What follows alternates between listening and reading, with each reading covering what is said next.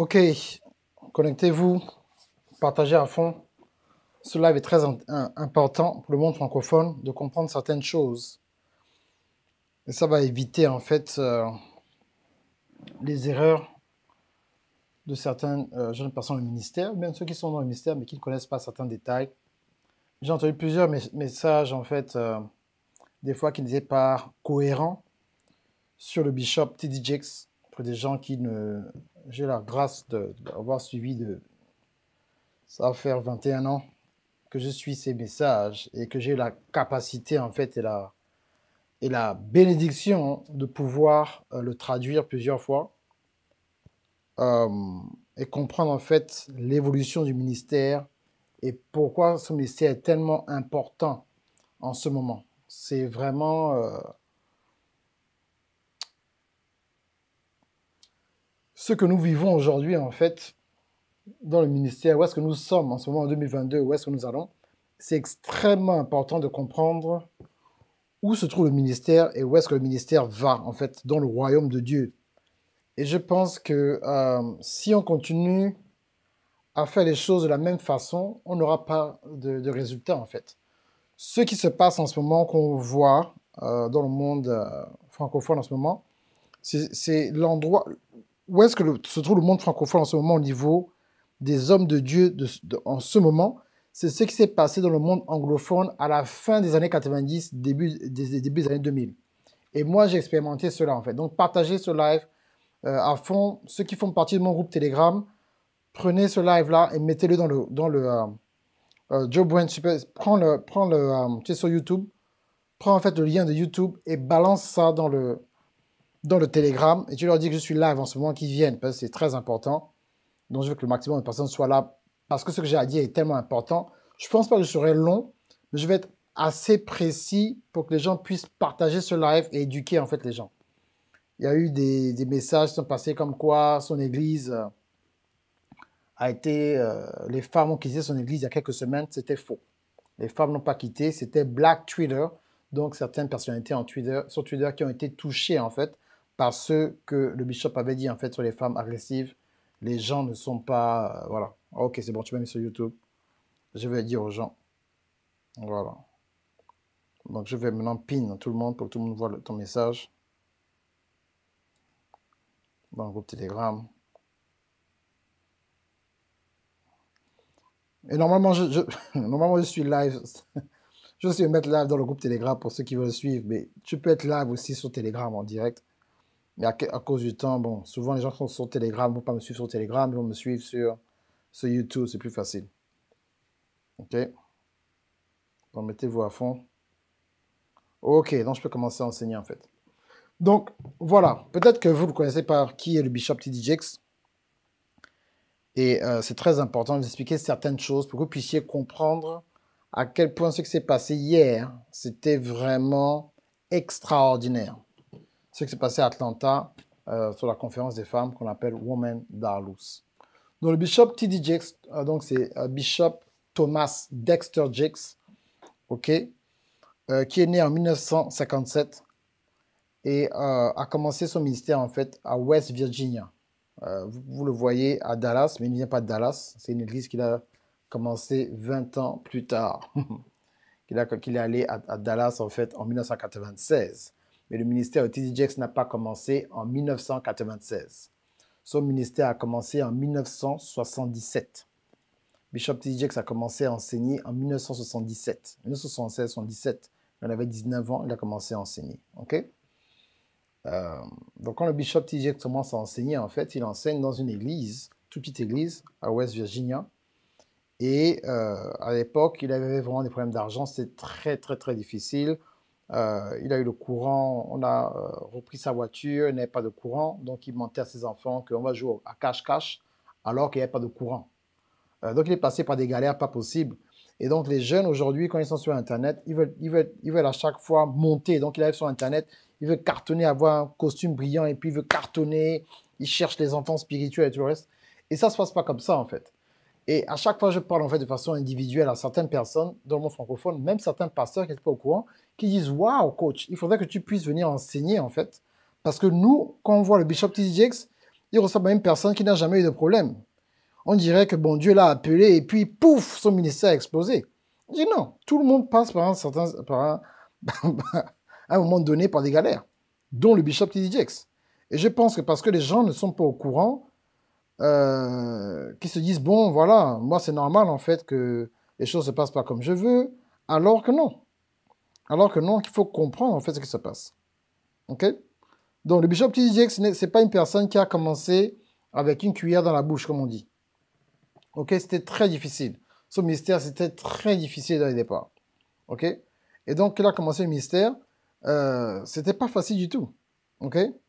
C'était pas facile du tout. Donc, vous pouvez pas vous dire, en fait, que bon, moi, j'ai commencé le ministère et tout le reste. Donc, il a commencé à prêcher en 1977. Il a ouvert son église en 1982. Donc, pendant 5 ans, il prêchait d'ici et là. Il a commencé à prêcher, il avait 19 ans. Il faut vraiment comprendre comment ça se passe, ok? Et donc, comme Bishop T. Jakes a commencé à enseigner, il a eu énormément de problèmes financiers, ça n'allait pas, financièrement, ça n'allait pas du tout. Et les gens se moquaient de lui, ils lui disaient, mais non, tu ressembles à un cuisinier, tu es un cuistot, tu viens et tout, euh, voilà, enseigner, nous on n'a pas besoin de tout ça, tu, tu, n'iras nulle part en fait. Et donc, euh, en 1900, en fait, il commençait à faire, des conférences, et les gens, disaient toujours, mais tu es un très bon orateur, mais où est ton église? Mais les gens, quand ils venaient dans son église, ils se moquaient de son église, parce que son église était toute petite en fait, donc c'était une petite porte, il passait, il disait, mais le, bishop qui fait des, conférences, c'est ça sa petite église qu'il avait. Il avait 17 ou 18 membres, Bishop TJX. Pendant longtemps, il avait 17 membres. Pendant longtemps, il avait 17 membres. Jusqu'en 1996, bonsoir Jessica, partagez à fond, c'est important ce que j'ai à dire. Jusqu'en 1900, partagez dans le groupe WhatsApp à fond, c'est très important. Jusqu'en 1996, tous les membres de Bishop TJX, c'était à peu près 50, c'était à peu près 50 membres.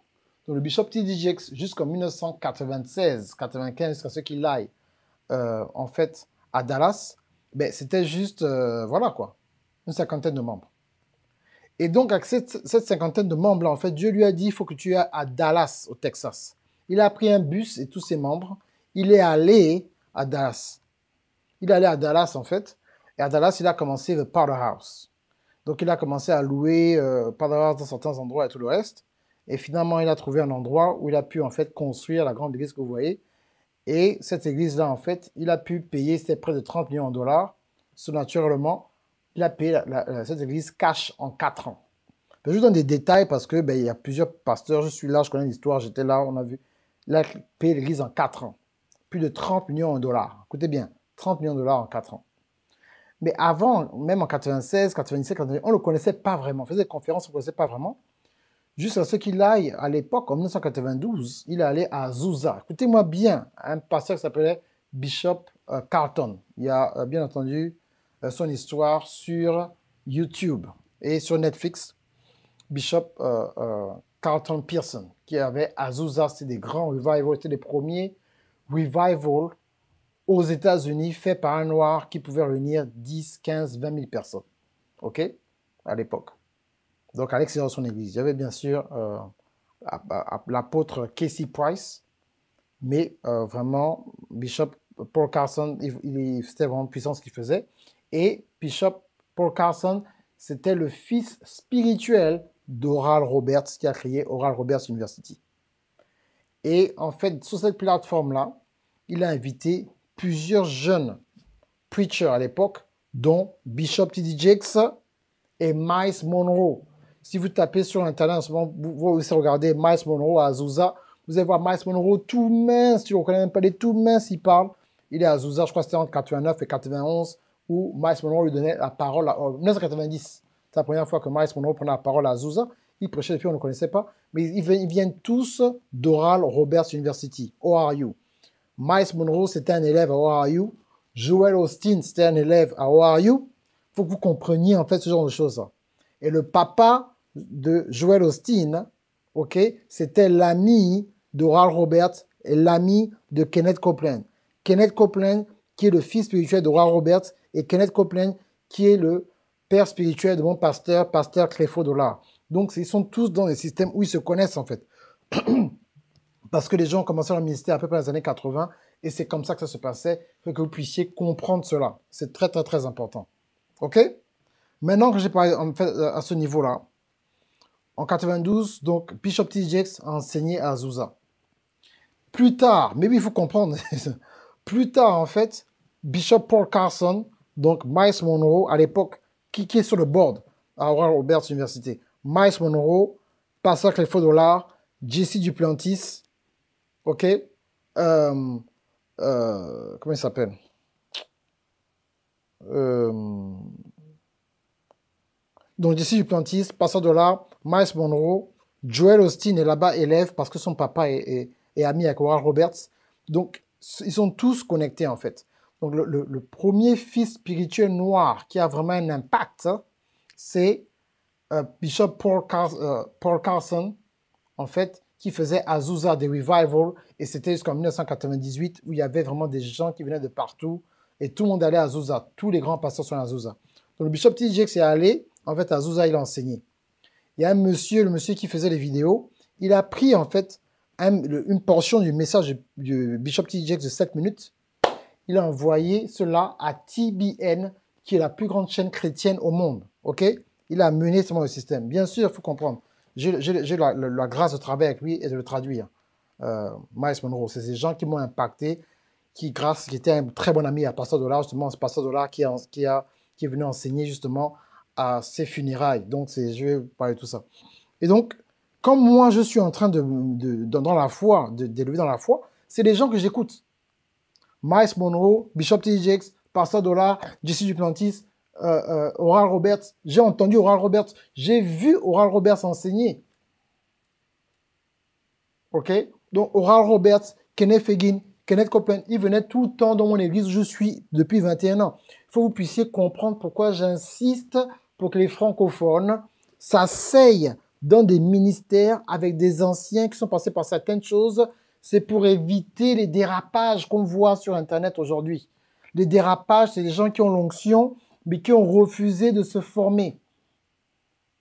L'onction n'est pas suffisant. Un beau costume n'est pas suffisant. Être éloquent n'est pas suffisant. Donner des messages avec une élégance pas possible, mais qui ne sont pas basés sur la parole de Dieu, ce n'est pas suffisant. OK?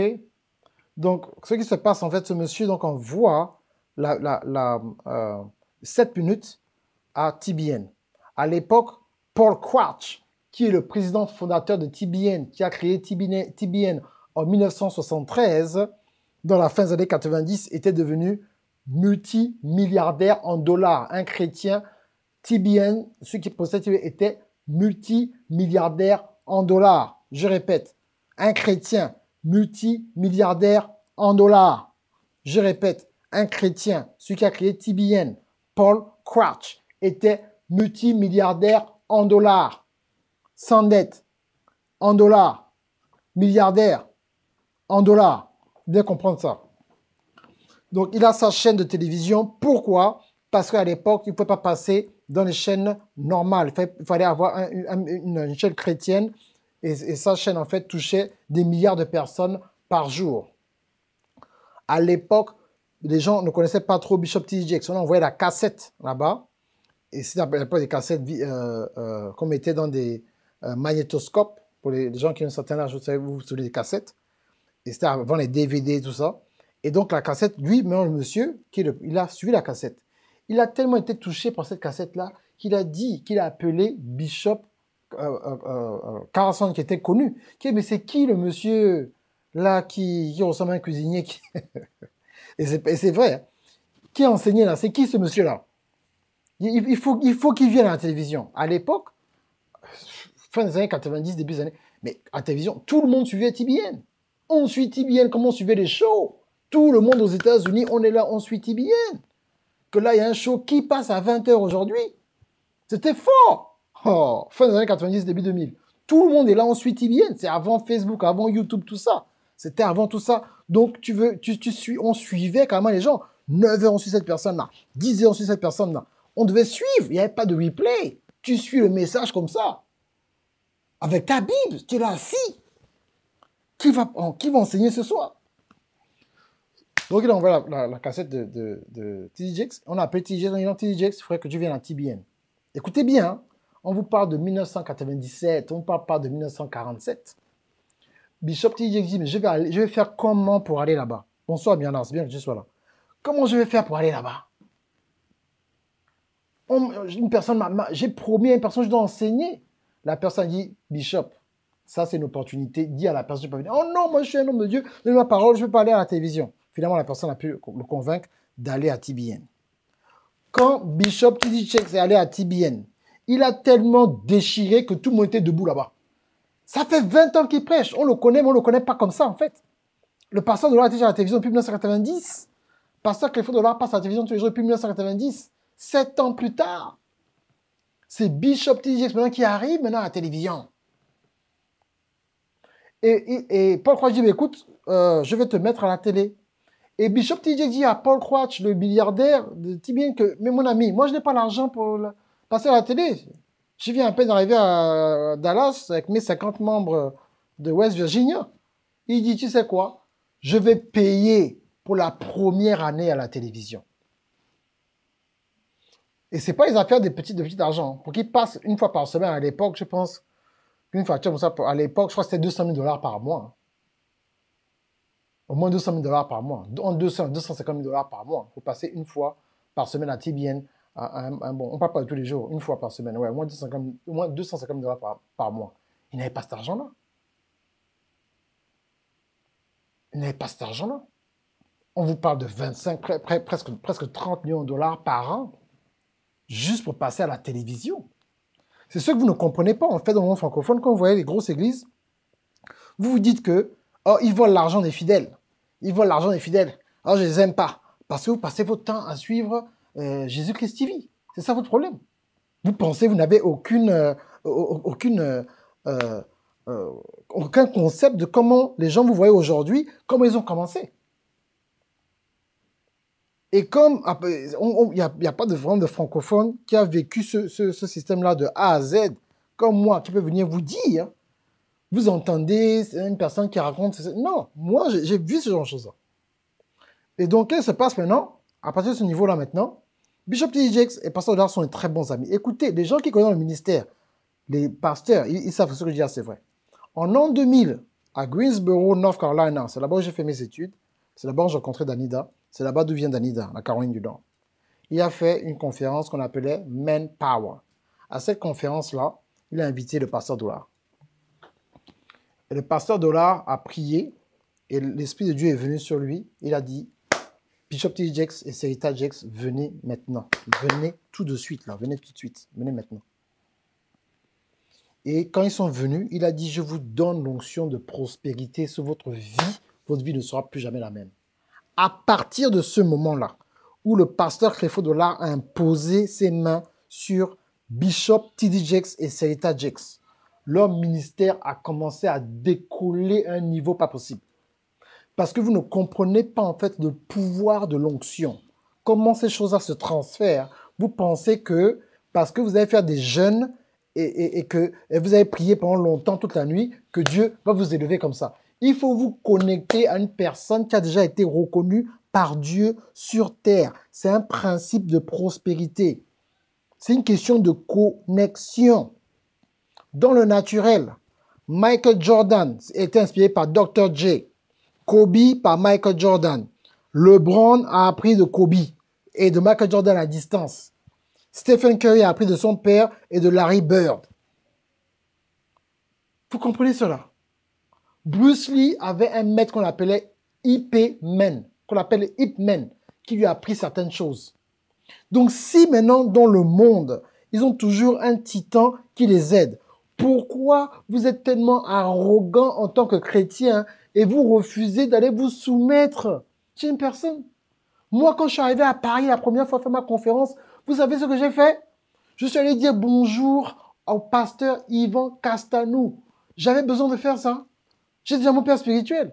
Mais mon père spirituel m'a appris qu'il y a des territoires, en fait, spirituels. Et dans les territoires spirituels, il y a des gens que Dieu a déjà utilisés.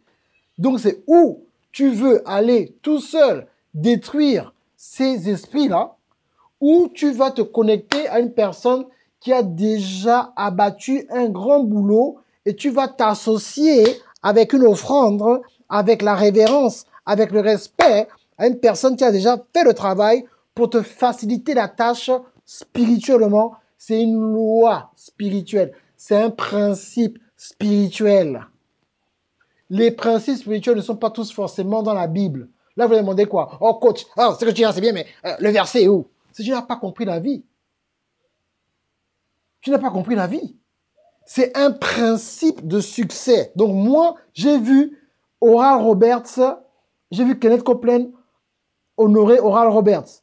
J'ai vu Pastor Dollar honorer Kenneth Copeland. J'ai vu Bishop David Oyedepo honorer Kenneth Copeland. Donc, moi, je vais dire que je vais ignorer ce que les titans ont fait. Je vais dire non, moi, je vais faire ma propre onction. J'ai pas besoin de suivre Pasteur Dollar, euh, Kenneth Copeland, Bishop David Oyedepo, Oral Roberts. C'est qui ces hommes-là? Ce ne sont que des hommes. Moi aussi, je suis un homme. Si je lis ma Bible, Dieu va me parler directement. C'est l'arrogance qu'on a dans le monde francophone là qui nous bloque. C'est l'arrogance qui nous bloque. Donnez-moi. C'est l'arrogance qui nous bloque dans ce qu'on fait. C'est tout. Donc, à partir de ce niveau-là, Bishop T.D. a commencé, en fait, à faire une conférence. Il a, écrit d'abord un livre qui s'appelle Women That Are Loose. Un peu avant de passer à Tibinen, vers 1997, la même période, il a écrit un livre pour faire une conférence, en fait. Mais oui, arrogant, pour faire une conférence. Donc, il allé voir des maisons d'édition à l'époque pour publier le livre. On lui a dit que les Noirs ne lisent pas assez nous, on ne veut pas publier ton livre en 1997. Mais bien sûr, Délé, Timothée et mais les gens font comme s'ils ne savent pas. Mais y en ça. On va te demander, on va te demander, donne-moi le verset, hein. donne-moi le verset. Paul lui-même, parce que justement, ils n'ont jamais eu la Bible jusqu'à la fin. Donc, qu'est-ce qui se passe? Il essaye de, publier son livre. Je ne sais pas combien de maisons, peut-être plus d'une vingtaine de maisons d'édition, lui ont dit non, on ne publie pas ce livre-là. Ah C'est pas possible. Donc, qu'est-ce qu'il a fait? Il a dit, bon, c'est pas grave. Il a dit à sa femme que ah, toutes les maisons d'édition là, ils disent que vraiment, ils, ne veulent pas publier le livre. Écoutez bien, écoutez bien, vous les femmes, écoutez bien. Serita Jex, la femme de Bishop Kelly Jex, a dit, écoute, j'ai des économies que j'ai gardées depuis, en cas de problème. Je vais prendre les économies là. Merci, docteur Gouka Maroga. Je vais prendre des économies là et je vais te donner ces économies-là pour que tu puisses publier le livre. 20 000 dollars à l'époque, en 97, c'était avant qu'Internet soit comme c'est Internet, avant les réseaux sociaux. Il a, elle a donné 20 000 à son époux, Bishop T.D. pour publier le livre Women Darlos.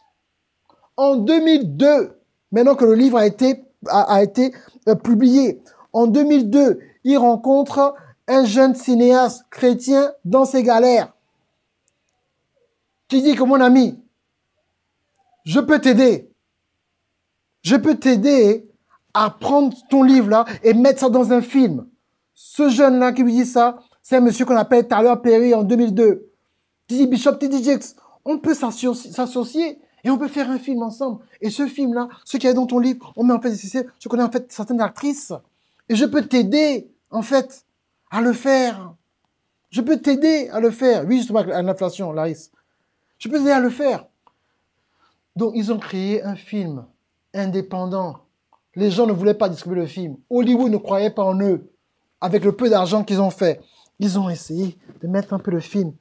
Le film est sorti. C'est devenu un succès mondial. 500 millions de dollars de recettes. 500 millions de dollars de recettes. 500 millions de dollars de recettes. Ce que vous devez savoir, c'est que avant que le bishop T.D. Jakes en 1982, parce que son père c'était un entrepreneur qui avait en fait une compagnie de nettoyage. Bishop T.D. Jakes, avant de créer T.D. Jakes Ministry, a créé T.D. Jakes Enterprises. Il faisait trois fois, parce que mettez ça sur TikTok. Mettez ça sur TikTok. Mettez ce là sur TikTok.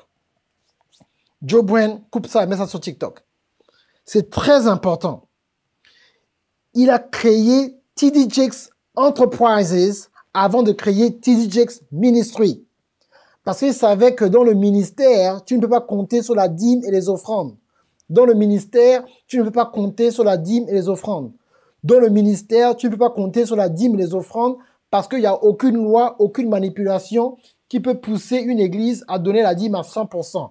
Selon les statistiques, dans le monde entier, c'est une moyenne. Il y en a qui font un peu plus, il y en a qui font un peu moins.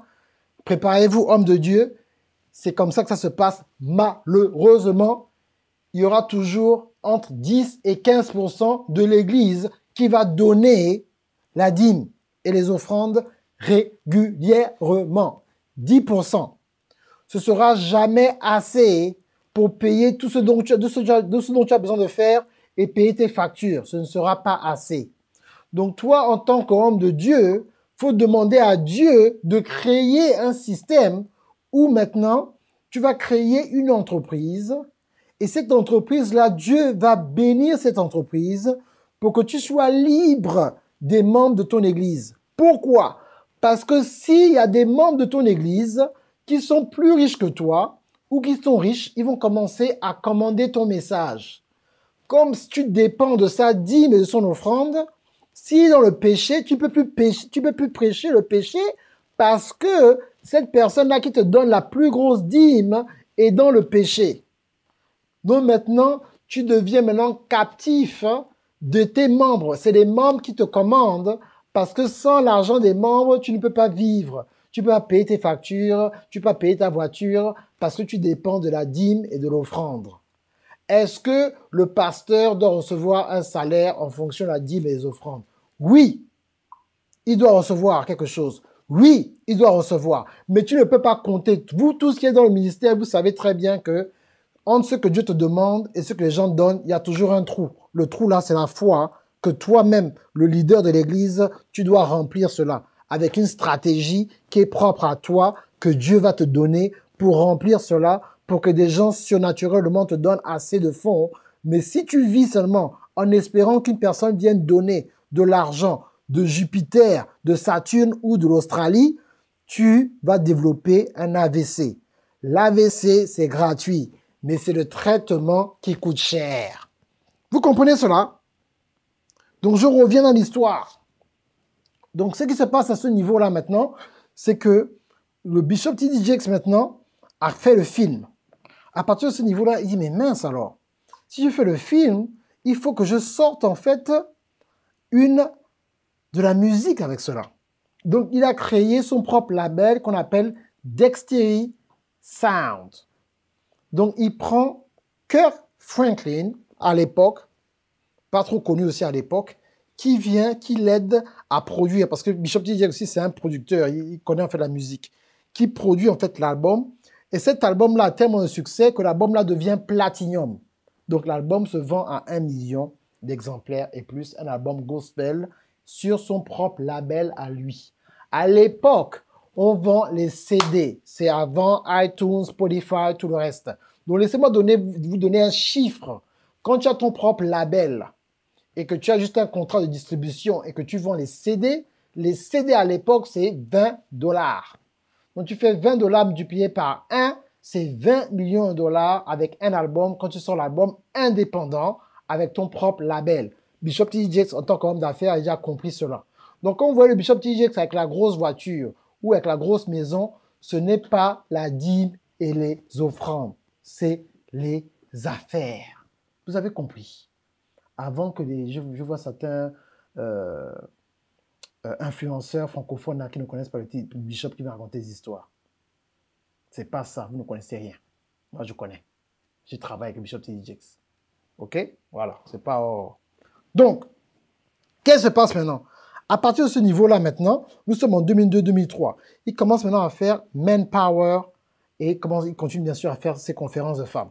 Et quand il fait ses conférences de femmes, ça continue, ça continue, ça continue à, vraiment augmenter au stade où maintenant, qu'est-ce qu'il fait? Il prend sa fille spirituelle et il impose les mains à sa fille spirituelle à l'époque qui est fauchée. C'est en an 2000 que ça se passe, aujourd'hui en an 2000. Il, il, il invite maintenant à euh, à sa conférence Women Lose, une femme qu'on appelle Juanita Bynum. En an 2000, elle a les cheveux courts. Elle enseigne un, message qu'on appelle No More Sheets. Ce message a été vendu en cassette. Moi-même, j'ai acheté cette cassette-là à plus de 3 millions d'exemplaires. No More Sheets. N-O-M-O-R-O-S-H-E-E-T-S. No more sheets. Et quand elle explose, à cette époque-là, quand elle est voir le Bishop TJX, elle n'a pas d'argent. Donc, elle n'a pas d'argent, on ne la connaît pas trop. C'est le Bishop TJX qui la pousse, qui l'a mis sur la plateforme ce jour-là. Il y a plus de 40 et 40, 50 000 personnes qui sont là, ici à Atlanta.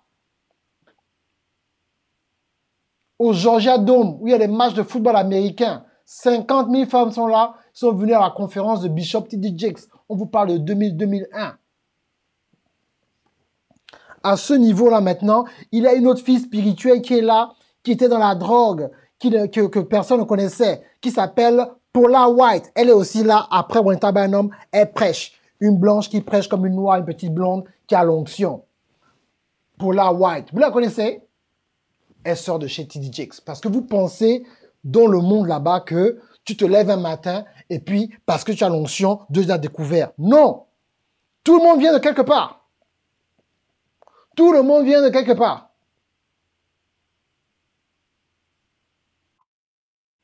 À cette époque-là aussi, il y a un petit jeune à qui on donne le micro. On dit vraiment, toi, on dirait que vraiment, je pense que tu vas aller à un autre niveau. Docteur Jamal Bryant. Parce qu'il y avait la conférence des, femmes et la conférence des hommes. On donne le micro, un petit jeune. Jamal Bryant. Il avait encore les cheveux. Regardez, ce que je vous dis là, ce que je vous dis là. Hein allez taper sur Internet. C'est Bishop TD qui lance Jamel Bryant. Personne ne connaissait qui était Dr. Jamel Bryant. Bonjour Viviane. Personne ne connaissait Dr. Jamel Bryant. C'est Bishop TD qui donne l'opportunité. À cette époque-là, il y a un comédien qui a un afro. En 2004, maintenant j'avance, mais il faut que vous compreniez ce qui se passe. Qui a un afro en 2004. Il est chrétien, mais il a un peu peur. Il a l'afro. Bishop Tijézier, toi, ce comédien-là, toi, viens enseigner les chrétiens. Yeah, Bishop, je ne vais pas venir enseigner les chrétiens. Je ne suis pas encore chrétien comme vous, là. Moi, j'insulte encore. Peut-être que je vais... Eh, je te fais confiance, viens enseigner. C'était Steve Harvey. C'est comme ça que la carrière de Steve Harvey, c'était un comédien, gens le connaissaient, il faisait de l'argent. C'est à ce moment-là que la carrière de Steve Harvey décolle. C'est Bishop T.D. Jakes qui lui a donné l'opportunité la première fois de t'exprimer en tant que chrétien. Tu es un chrétien, je t'invite et viens enseigner devant 50 000 personnes. Steve Harvey était là, j'étais dans la salle. Megafest, pourquoi? Parce que votre coach, c'était lui qui était là, le traducteur. J'ai traduit pour un, groupe de 75 personnes qui venaient de Guadeloupe. Parce que, quand vous voyez les gens sur, sur Internet, vous pensez que non, on vient de quelque part. On a expérimenté certaines choses qui font de nous qui nous sommes aujourd'hui. Megafest. C'est la première fois que TDJX prend la conférence des femmes, qui avait déjà à l'époque 40 000 personnes, la conférence des hommes qui avait déjà à peu près à l'époque 10 000 personnes. Il met tout ça ensemble. Il invite ses amis à l'époque.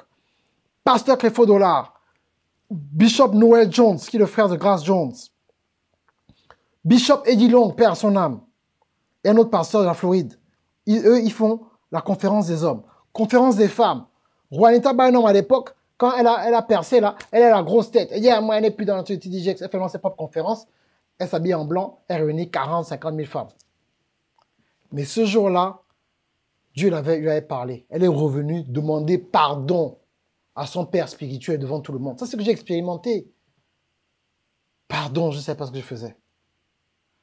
Paula White, à l'époque, a son propre show à la télévision, elle commence à percer. En 2007, Paula White, son message perce tellement à l'époque, parce que à cette époque, il y avait une onction où maintenant il voyageait tellement, il n'arrivait pas à voyager, donc chacun avait les jets. Donc une fois, écoutez bien cette histoire-là, c'est documenté, vous allez comprendre des choses, parce que vous voyez des choses, vous ne comprenez pas. Elle va, c'est passé à New York, elle, se gare euh, euh, dans son jet à New York, elle s'est garée en 2000, je crois, en 2006, je pense, c'est du jet de Donald Trump à l'époque, président Donald Trump. Donald Trump dit, mais ça, c'est qui la blondinette là? Je la connais pas, moi je suis dans Hollywood, machin.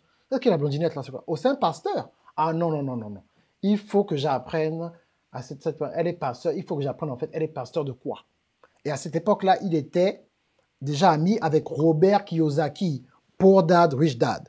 Et si vous allez sur Internet en ce moment, sur YouTube, et vous tapez Paula White, Robert Kiyosaki, Donald Trump, allez taper ça après le live, bien avez plusieurs, vous allez voir, il vient dans une émission, et c'est la première fois que Donald Trump parlait avec un chrétien publiquement parce qu'il a rencontré Paula White, il, demandait il, voulait, il était intrigué comme un pasteur, une jeune blonde, elle n'est pas Hollywood, pourquoi elle a son propre jet?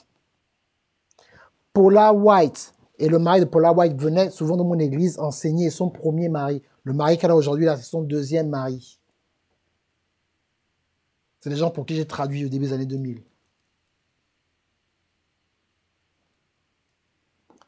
Donc, Paula White a, commencé sa relation avec, euh, professionnelle avec le euh, président Donald Trump en 2006. Je vais venir maintenant après sur ce qui s'est passé après. Vous allez comprendre maintenant pourquoi les choses se passent comme ça. Donc maintenant, le bishop TJX, son, son ampleur continue de monter et tout le reste.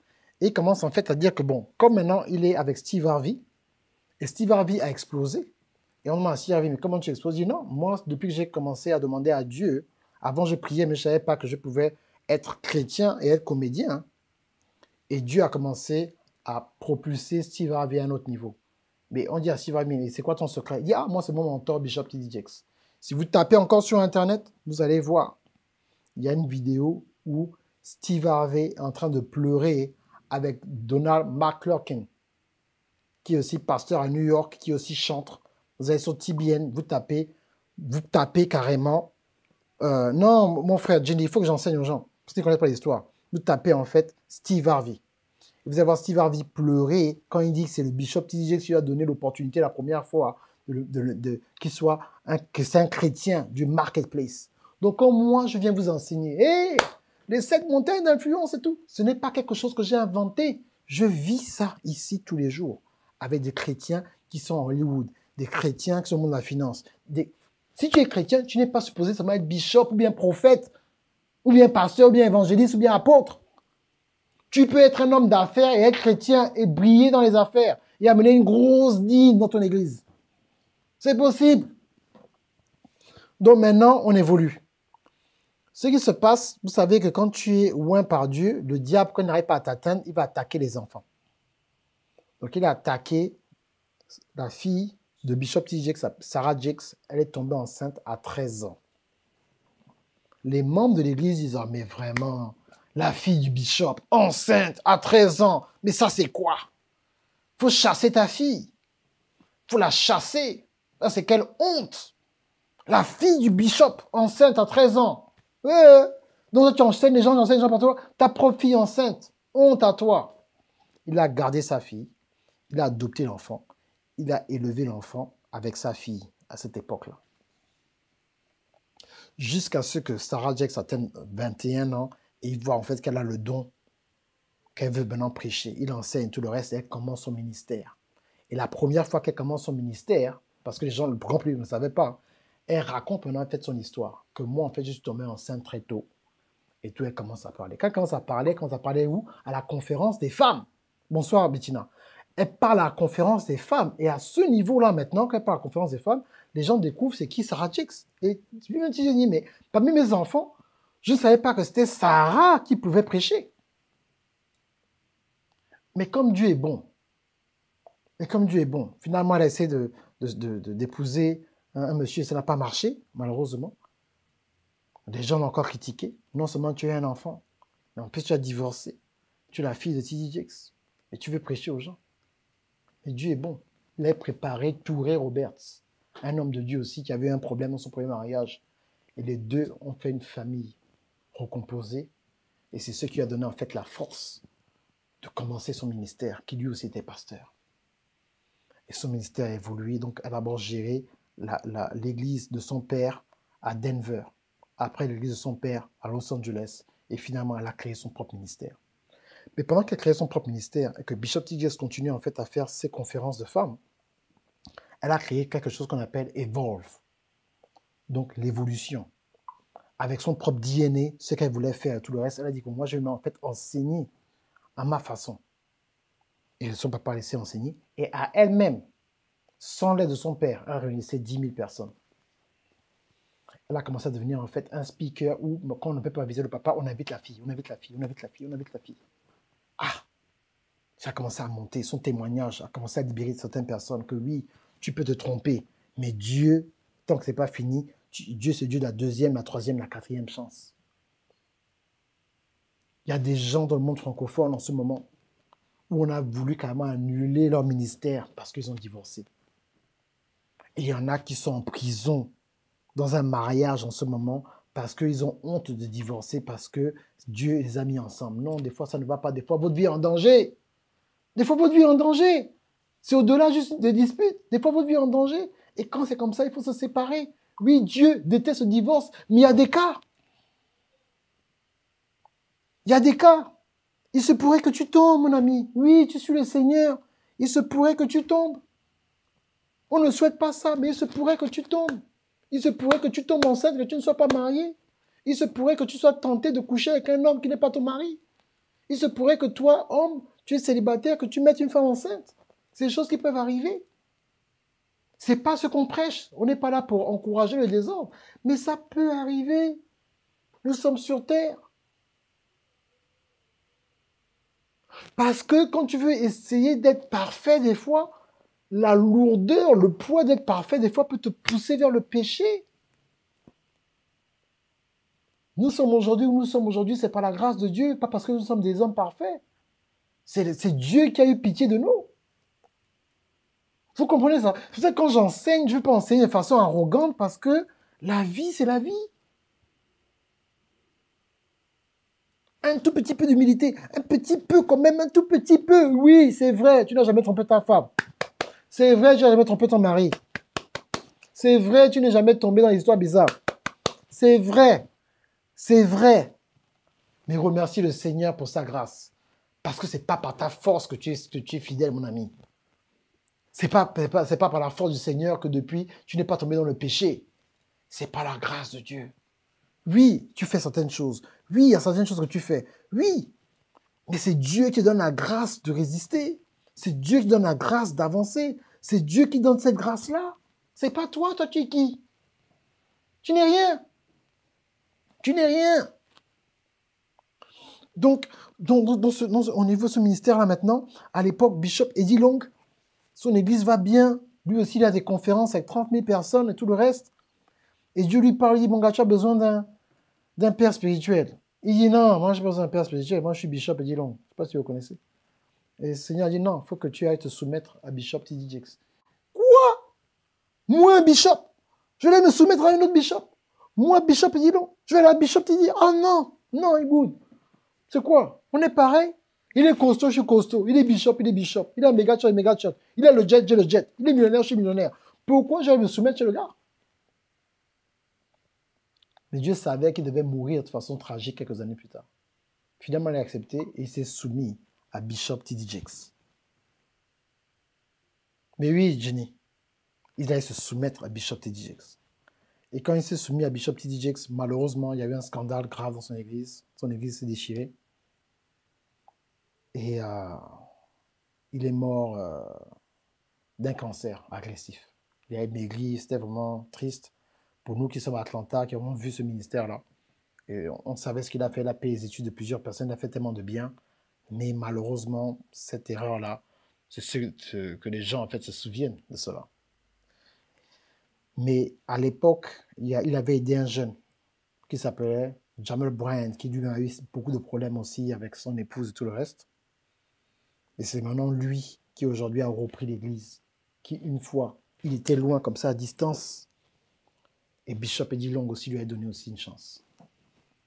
Aujourd'hui, c'est lui qui est le pasteur. Il y a le fils de Bishop Eddie Long qui est toujours là, qui vient à l'église, il y a toujours sa famille qui est là. Mais c'est très difficile. Il faut comprendre ce qui se passe dans le ministère. Et après plusieurs années maintenant, il y a eu euh, un autre de ses fils spirituels qui a épousé Megan Good. Et j'étais là j'ai suivi à l'époque quand il a présenté, il a dit voilà mon fils, Franklin, qui est là. Il était directeur de Columbia Film. Et il a pu aider le Bishop TJX à avoir un, un deal de distribution de plusieurs films et plusieurs millions de dollars de distribution de ces films. Et Bishop TJX a continué à sortir plusieurs films maintenant, sans l'aide de Tyler Perry. À cette époque-là, quand il a fait Megafest, il a été invité par Oprah Winfrey. Et Oprah lui a dit, écoute, je n'aimais plus aller à l'église. Parce que Oprah a été violée et sa famille n'a rien dit. Et sa famille allait à l'église, donc Oprah Winfrey n'aimait plus l'église. Mais quand elle a rencontré Bishop TJX en 2004-2005 après Megafest, elle lui a dit que la façon dont tu voulais me parler dans mon show, elle avait encore le Oprah Show, ça m'a vraiment touché. Je ne peux pas venir à ton église tout le temps, j'habite en Californie. Est-ce que tu n'as pas une application mobile où je peux te suivre? Je dis non, mais moi j'ai pas d'application mobile. Elle dit pardon, fais l'application mobile. C'est comme ça que Bishop TJX a commencé à s'intéresser à la technologie et a demandé aux gens de créer son application mobile. L'un des premiers pasteurs à avoir une application mobile à l'époque, en 2005. Et comme ça, Oprah Winfrey a commencé à, à suivre son émission. Suivre en fait l'Église. Aujourd'hui, il y a plusieurs personnalités qui suivent le Bishop TDX. Mais les gens pensent qu'il est arrivé ou il est arrivé comme ça. Sa femme a fait un accident très grave, elle ne marchait plus. Il a prié pour sa femme, sa femme marche aujourd'hui. Il y a son fils qui a eu des gros problèmes d'identité. Il n'a pas chassé son fils de la maison. Il a dit pour venir à n'importe quel moment, voilà la clé. Et ce qui s'est passé hier à Atlanta, non, je vais revenir d'abord un peu avec l'histoire de euh, Donald Trump et tout le reste. Ce qui s'est passé, en fait, à un moment, il y a eu beaucoup de problèmes. Bien sûr, P. aussi le suit, bien entendu. Donc plusieurs stars d'Hollywood, les Waxon, les Waxton, tout le monde. Et ce qui s'est passé, maintenant, il, a eu tellement d'influence que les gens d'Hollywood ont commencé à venir se confier à lui. Il y a plusieurs personnes qui sont chrétiennes là, mais qui ont des problèmes, qui suivent le Bishop TDX. Ne suivez, faut pas critiquer les stars quand vous voyez les stars. Il y a des démons sérieux. Quand vous voyez ce que Kanye West fait là, c'est pas oh non, il est fou. C'est des attaques spirituelles au niveau où il est. Vous comprenez cela? Nous, on est ici. Le grand producteur Timbaland. Vous connaissez Timbaland, celui qui est producteur, à, l'IA, et maintenant très proche de Bishop TDX. Euh, ça a été annoncé hier, ils ont sorti un album. Juste pour cette conférence-là, l'album est numéro 1. Mais la personne qui produit, c'est Timbaland. Quand je vous parle qu'on peut aller dans le marketplace, parce que je vois les choses, il y a une autre personne qui a produit aussi Michael Jackson, Ronette Jerkins, qui a produit en fait euh, euh, plusieurs morceaux pour Michael Jackson. Tout le reste, c'est un chrétien que j'ai rencontré moi-même personnellement à Megafest qui était dehors. J'ai dit, mon Dieu, Ronette Jerkins, tu es là? Il dit oui. À l'époque, il était encore gros avant qu'il maigrisse. Donc, c'est pour vous dire l'impact de ce monsieur-là, Bishop TDX. La première fois que, que euh, je suis arrivé à Megafest, donc je vais traduire pour euh, Dollar, et on m'a donné le stage, en fait, je parlais en français, et il n'y avait, personne qui traduisait le français. Donc, son staff m'a donné un micro, et j'ai pu, en fait, traduire le message de Bishop TDX de Pastor. Et c'est ce genre d'opportunité-là qui font en sorte qu'aujourd'hui, quand je fais Trillionaire Media, c'est parce que j'ai pu fréquenter et travailler et ajouter le nom de ces géants-là dans mon résumé qui font qui je suis aujourd'hui. Vous comprenez cela? Donc quand j'ai vu ce qui s'est passé hier, j'ai vu un message que soi-disant euh, son église s'est fermée, c'est faux. Il y a plus, plusieurs autres histoires. Après, Paula White, justement, malheureusement, ce n'est pas TDJX euh, quand il y a eu l'affaire du président Donald Trump, parce que ce qui s'est passé aux États-Unis, que vous ne savez pas, c'est que c'était en fait ici un combat très puissant entre les Noirs et les Blancs.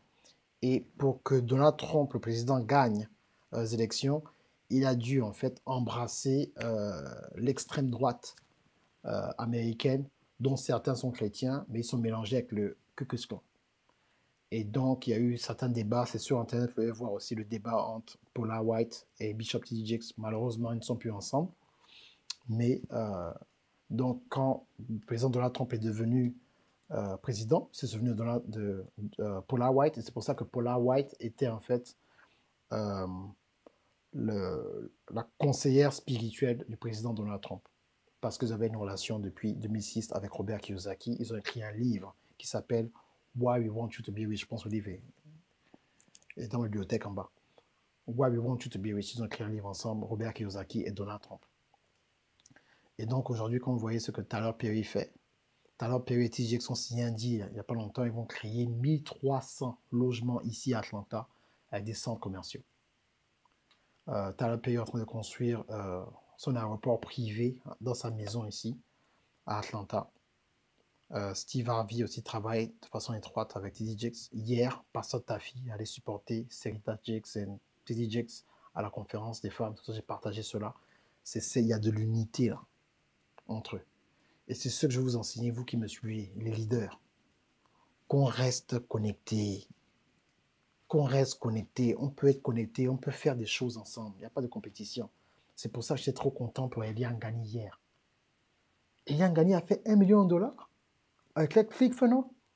Et on ne dit rien, on est silencieux. Non, on devait carrément, on devait carrément balancer la fête. Elian Gani à quel âge? Il a peut-être 32 ans. Un million de dollars Une Camerounaise, une personne qu'on connaît. Je peux prendre le téléphone, je peux appeler. Elle a fait un million de dollars en 12 mois. Et puis on ne dit rien. Non, il faut, que, soyons un petit peu. J'ai fait beaucoup d'argent dans ma vie. Hein.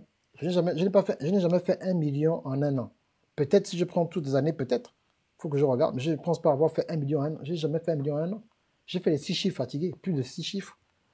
Mais jamais fait un million en un an. Donc quand c'est comme ça, j'arrête ce que je fais. Hé, hey, Yann, félicitations, oh. félicitations. Vous comprenez? Donc ce système-là, ce qui s'est passé hier maintenant, après plus de 30 ans, il a donné carrément à sa fille son manteau. Là, à partir de maintenant, j'arrête de faire des conférences de femmes, tu fais ce que tu as à faire. Donc, c'est plus maintenant, plus maintenant Woman Darlous. Après 30 ans, c'est maintenant Evolve. Et c'est maintenant Sarah Jex qui va reprendre le flambeau de son père sur les conférences des femmes. Elle a aussi son propre ministère avec son mari. C'est ça qu'on appelle la legacy. C'est ça qu'on appelle le leadership. Et le bishop T.J. il a, il a, je, je, n'aime pas la place de parler de ce qu'il a, ce qu'il a accompli. Il est New York Times best-selling author, il, fait tellement de choses. Mais c'était parce que j'ai entendu une personne qui a dit que oh, les gens ont quitté son église. Non. Non, non, non, non. C'est un homme respecté qui fait énormément pour leur communauté noire. Aux États-Unis, quand il y avait des. Euh, y compris avec mon sont tous réunis quand on tue les Noirs n'importe comment. On tue les Noirs n'importe comment. Ils sont réunis pour mettre la pression à la Maison-Blanche que les gars, faut arrêter ça. Il faut qu'on trouve une solution à cette affaire de police-là. Et ici, aux États-Unis, ici, aux États-Unis, ici à Atlanta, on se bat. Ça fait plus de 30 ans que le maire d'Atlanta est noir et le chef de la police à Atlanta est noir. Vous comprenez cela? Donc, c'est pour vous dire que on ne connaît pas l'histoire des gens. On voit toujours comme si les gens sont nés et puis ils ont eu succès. Non, Bishop T.J. a galéré. Tyler Perry dormait dans sa voiture ici à Atlanta. OK? Il était homeless. On dit homeless? Euh, euh, il était SDF. Donc, c'est qu'on voit, on se dit non, mais c'est pas possible. Oh, mais c'est pas possible. Au moins les autres, au moins c'est facile aux États-Unis. L'église est facile. Non, l'église n'est pas facile aux États-Unis. Les gens aussi ont leurs problèmes. Les gens aussi ont traversé certaines choses. Dernièrement, je vais adresser cela aussi, parce que beaucoup de personnes m'ont posé la question, je profite. Mon pasteur a dit qu'il ne faut pas euh, forcer les gens à donner la dîme sous la loi. Eliane Gani, il ne faut pas donner, euh, faut, pas euh, la dîme sous la pression. Ils ont changé le truc. Oh, le pasteur Dollar a dit qu'il est contre la dîme et tout le reste, dans le monde entier. Le monde francophone anglophone, à cause de son influence. Alors que ce qu'il disait seulement, c'est que ne, faut pas être bloqué. Ne soyez pas bloqué dans ce que Dieu fait. Ne soyez pas bloqué alors qu'on est dans la nouvelle alliance. Il faut donner librement. Et ce qui s'est passé, le pasteur de l'art, pendant la pandémie, les 30 églises qu'il a aux États-Unis ont été payées for. Tous les bâtiments, des bâtiments de 3 millions, 4 millions, 3 millions. Donc il dit qu'il n'a jamais été aussi béni spirituellement depuis qu'il donne à travers la grâce. Il ne donne plus sous la pression il donne par conviction. Ça reste le partenaire numéro un de Kenneth Copeland. Kenneth Copeland a des, des fils spirituels qui sont très riches. Donc voilà, les gens ne connaissent pas. Ils ne savent pas ce qui se passe. Et quand vous savez ce qui se passe, en fait, c'est rien. Il a juste dit qu'arrêtez de manipuler les gens en donnant des montants fixes et certaines choses et tout le reste. Ne mettez pas la pression. Laissez les gens donner. Et vous-même, comme il a dit aux autres pasteurs, les autres pasteurs ont paniqué parce qu'ils ne, ne dépendent pas de l'Église. C'est business. Et lui-même encore, il a, dit publiquement, je peux le répéter, Lui-même, il donne 30 millions de dollars par an à, son, à sa propre église. C'est la personne qui donne le plus d'argent à l'église. C'est la personne qui donne le plus d'argent à son père spirituel. Donc, c'est tout ça qu'il faut, il faut faire attention. Il faut faire attention. Donc, au lieu de suivre des pasteurs qui viennent vous raconter des histoires, oh non, je vois un nuage noir sur ta vie, bientôt tu vas mourir, vous cherchez des prophéties par-ci, par-là. Non. C'est pas parce que tu es coach, parce que tu as peu d'argent, que tu ne dois pas être soumis à la parole de Dieu. Vous comprenez un peu? De rien, euh, PPC. On ne comprend pas certaines choses. Il y a des gens, vous regardez leur vie, c'est tout. N'allez pas sur une personne parce que la personne prophétise le numéro de téléphone, aussi. C'est pas ça qui va sauver ta vie. Vous comprenez ce que je suis en train de vous dire là? C'est-à-dire que c'est à vous. Je, je, me suis rendu compte de quelque chose. Quand j'ai commencé à World Changer, en 2001, mon pasteur avait 39 ans. Quand il avait 39 ans, quand j'ai à l'église à cette époque, il avait 4 jets. Je l'ai vu de mes propres yeux donner les jets aux gens. Paf, les jets. Il donne les jets aux gens, les jets. Depuis que ministère, je l'ai vu donner 200 voitures, 100 maisons et deux jets. Je fais ça doucement. Il faut mettre ça sur TikTok. Pasteur Créfo Dollar a donné deux jets. Cadeau. 200 voitures et 100 maisons. Mais comment tu peux venir critiquer une personne comme ça? Même, le biscuit, tu n'as pas donné aux gens. Même le verre d'eau, c'est compliqué. Même mettre le like sur la publication des gens, c'est compliqué. Et tu viens parler d'une personne qui a donné deux jets, 100 maisons et 200 voitures.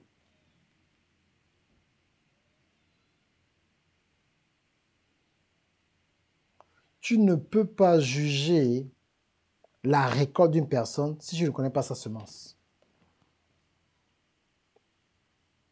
J'étais invité il y a quoi, quelques semaines, là, certains de. Le pasteur donnait, encore un pasteur donnait un, bâtiment de 4 millions de dollars. 4 millions de dollars. Je crois qu'il fait l'inauguration la semaine prochaine. Je suis invité là-bas. Je, faut que j'aille là-bas, je faire une photo. Je vais dire voilà la personne dont je vous parlais. Vous comprenez ça? Ce n'est pas les histoires juste, c'est au-delà d'avoir une grosse voiture, d'avoir une montre en or, euh, de montrer comment tu vas acheter des sacs Louis Vuitton. Euh, c'est au-delà de tout ça. On fait. C'est-à-dire que la mission est tellement grande que Dieu va te donner plus que ce dont tu as besoin. On ne demande pas à être riche pour Dieu pour faire des malins sur Facebook ou sur Instagram.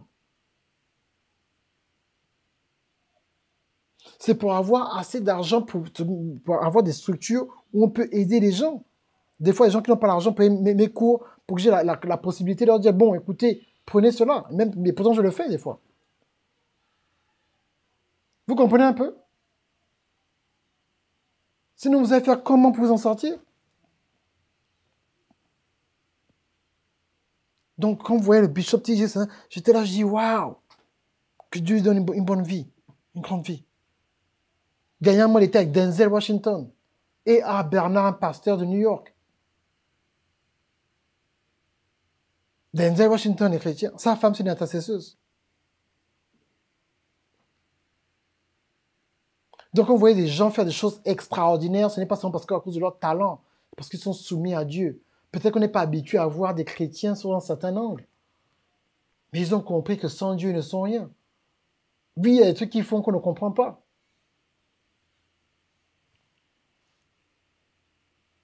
Mais dans le secret, ils aiment Dieu. Un jour, ils arriveront à un autre niveau.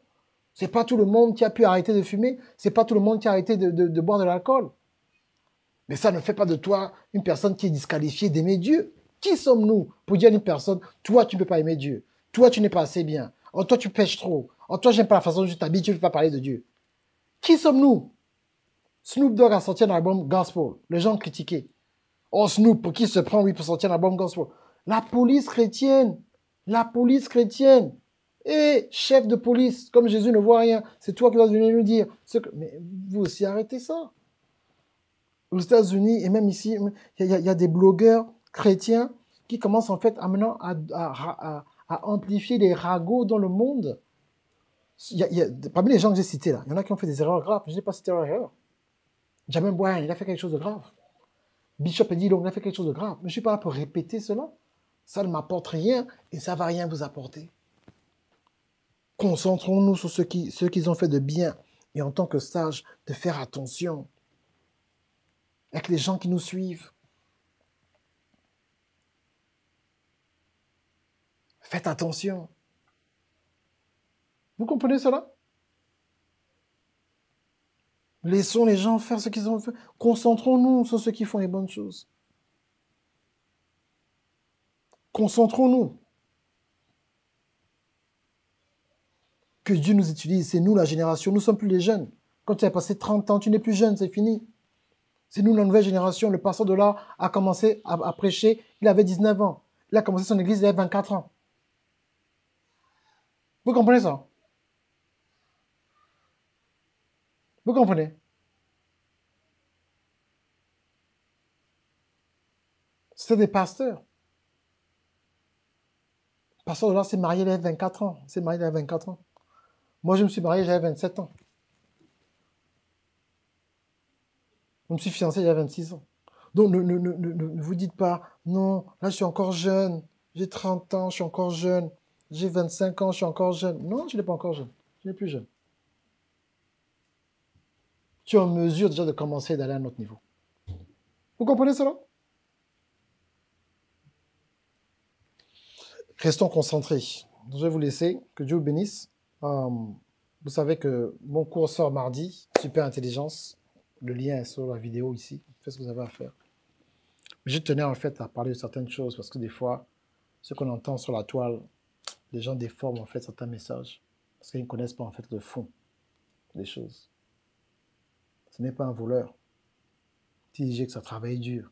Il ne vole pas la dîme, les offrandes.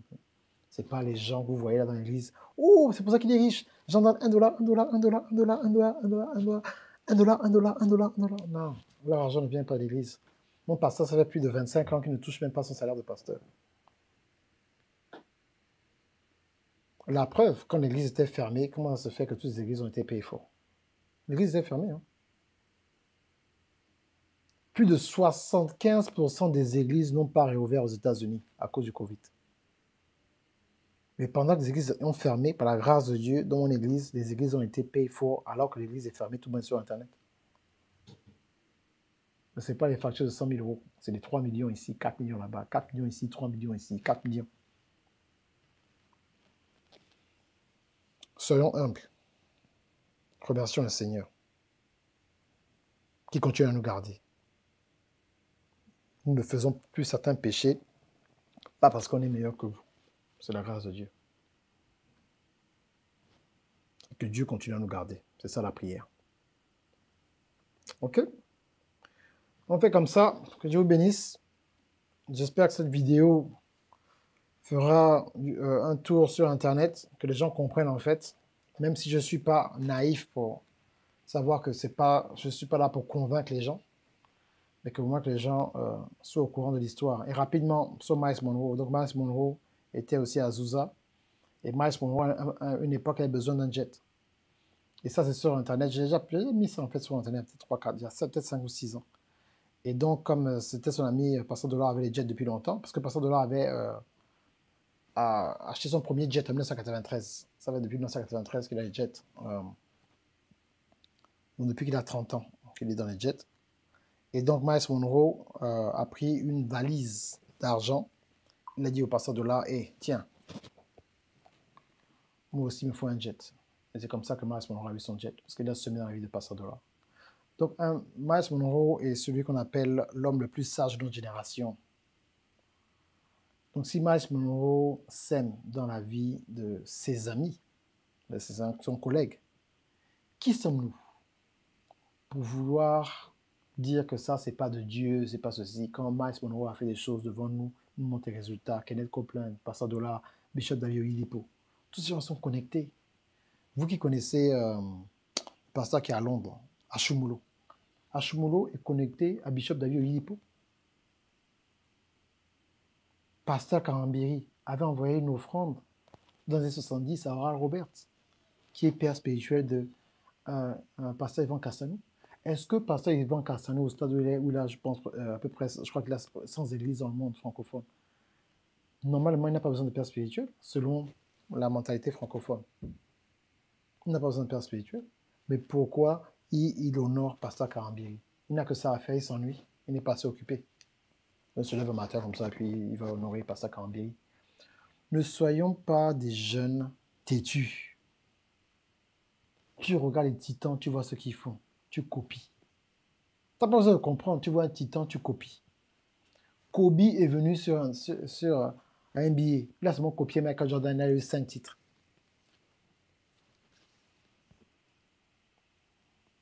LeBron a copié Kobe, il a eu 4 titres.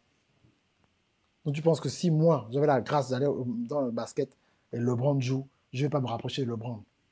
Ah, moi aussi je serais champion, je m'en fous de LeBron. Moi aussi je peux jouer au basket. LeBron c'est qui? C'est quoi? Moi je suis le fils de mon père, je suis un Bantou, je suis un Kémite.